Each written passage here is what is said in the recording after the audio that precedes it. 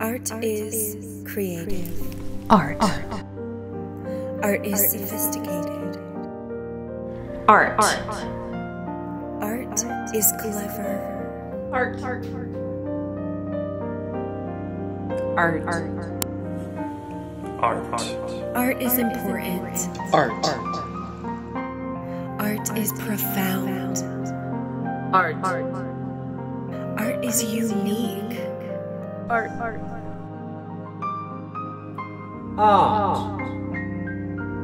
Art. Art is the engine that makes us go.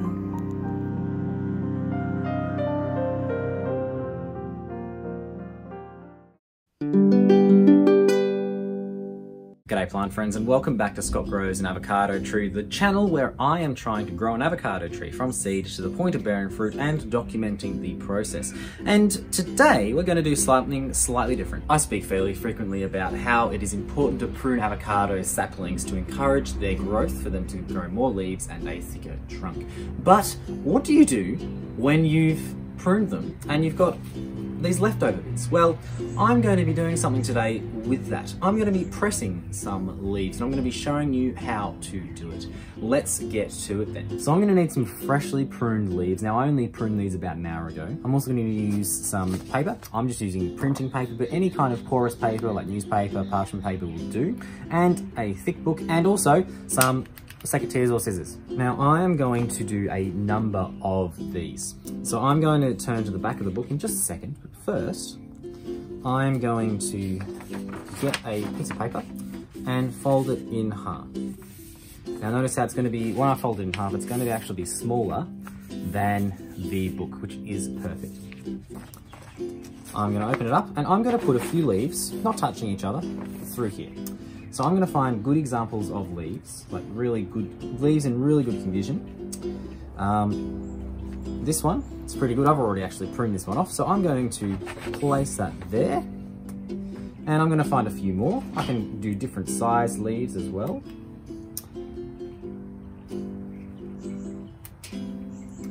And that's pretty well full. I'm going to fold it and go to a place towards the back of the book and I'm going to place it in there. Now once that has closed, that'll be closed, I'll stack some more books on that and then we're going to wait until it's completely dried out and they'll be nicely preserved. And actually I can't find where I put that there. So I'm just going to make sure, once again, that the they are fully inside that bit of paper I'm going to fold it over like that. And now we're going to do that for the rest of them.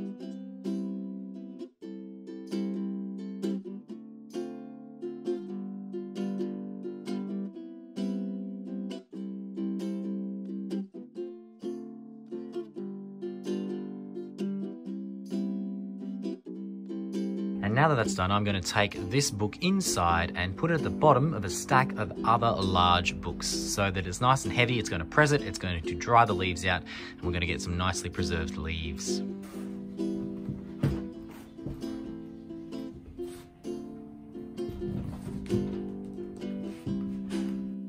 And now we wait.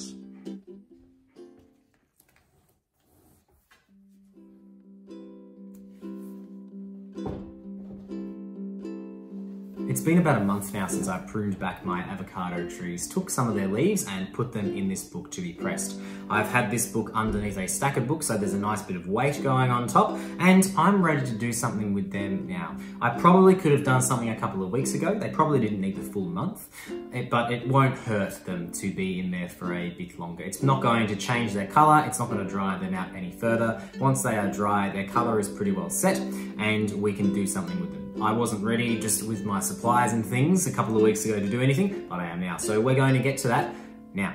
So first of all, I'm just going to check how these leaves are doing. So I'm going to open up the book to the pages where I've got my bits of paper in them. A little bit tricky to find them. There's some. Okay. I'm just going to pull these all out to start with. Just want to check that's all of them. It is fantastic. We're done with the book now. Now, the moment of truth. And that has done a really good job. So what we've got here is a beautifully dry leaf that has got the moisture taken out of it. So the, the books have pressed and the paper has wicked away any moisture. And so this is a well-preserved leaf. So these, nice and flat, nice and dry, their color is actually beautiful. So it's almost exactly the same. I've got a, I've got a live tree here, which um, if you can compare the two, we've got a bit of different, like one is a little bit lighter, but really, it's a pretty good color. I'm very happy with that. You can see all of the veins there, beautiful. So I'm going to now just open up the rest of these so that I can see what I'm working with.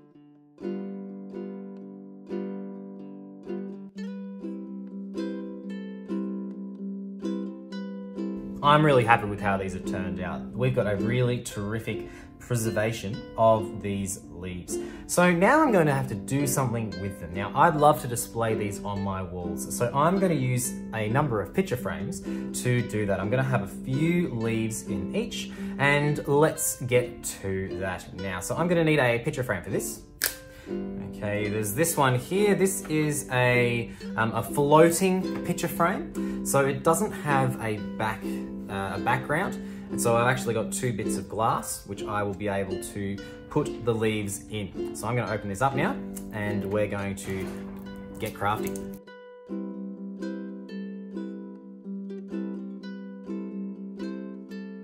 And uh, you can tell that this glass is high quality because um, it's got a, it's uh, it's been cracked there, so they've just put a bit of glue. But that will be outside of the uh, photo frame, so I'm not too concerned about that.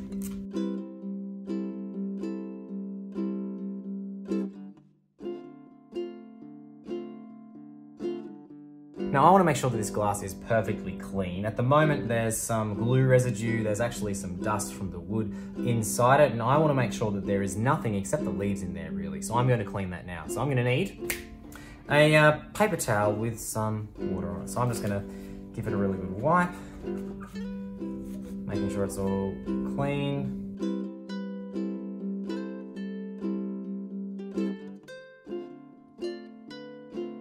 And I'm actually to give them a minute just so that they are perfectly dry before I go any further.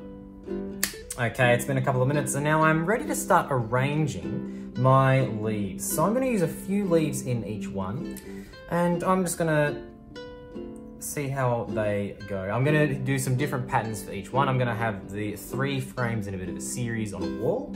Um, if I were to have these just one at a time, I could do whatever I want. This one looks quite nice just as a centerpiece actually.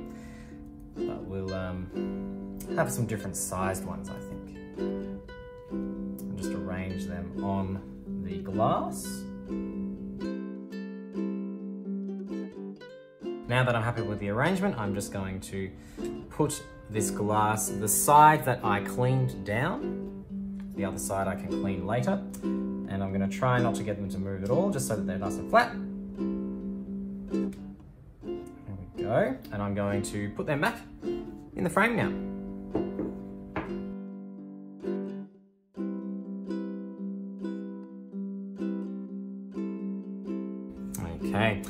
And um, it's there's a little bit of dirt on the outsides of that now, so I'll give them a bit of a wipe as well. Um, but that is looking ready to hang. And so that's going to be my next step putting that on a wall. It's looking a little bit smudgy, so I'll give this another clean. Now that um, I'm just got this on the outside, I'll actually use a little bit of glass cleaner before I put this on the wall. I was a little bit hesitant to use the glass cleaner on the inside. I'm not sure if that hesitation is valid, um, but I was just a little bit worried about what other chemicals being on the glass might do to the leaves long term. And I know just water, um, once it's dry, is gonna be okay. So I'm gonna use some window cleaner on the outside of this now before I hang it up. I'm going to get to arranging the rest of these and then we're gonna hang them. So I'll see you very soon. And there we have it. We've got three frames done here. And also, I did this one here. So these ones I did exactly the same way that I did for the first one. I didn't do that on camera because I didn't think you would want to see all of them. That's okay. And we've got this one here. This was a little bit different. I mounted this one a little bit of paper with some double-sided tape, just a touch on the back so that it stays in place when it is upright um, because it doesn't come into contact super firmly with the glass there. But that is absolutely fine. I am really happy with how these turned out. And now I'm going to hang them on the wall um, where we can display our own homegrown artwork. To hang these on the wall, I'm just using command strips. They're strips which don't damage or mark the wall, which is great for me as I'm renting. I've done this in the past for floating picture frames, and they've remained on the wall for three years now. So make sure you uh, put it on the right side as well. I've just put the um, this one on the front, so I'm gonna and also somehow this, this leaf you can't do this, so I'm gonna just take this out, flip it over. Thankfully I can do that and we'll be okay. Then I find a height to hang them. I got some assistance from my wife to determine if they were straight and I held them in place as per the instructions on the command strip packet. Then I removed the frames to let the command strips get stuck. After half an hour I returned them and we were all done.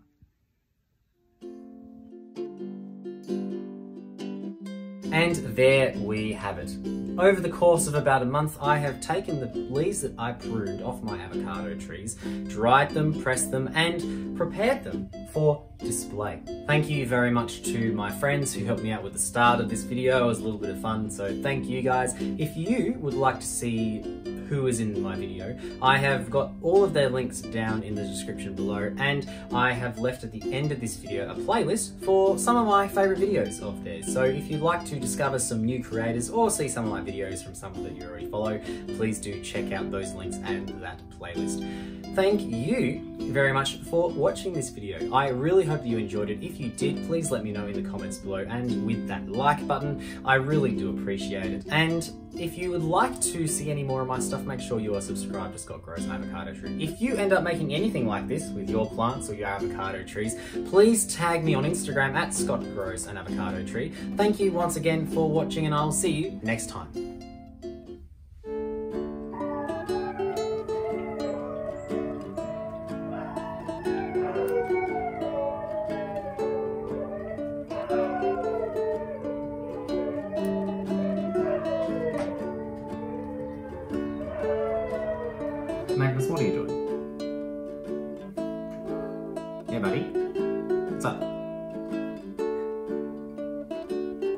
Can you maybe not sit there, buddy?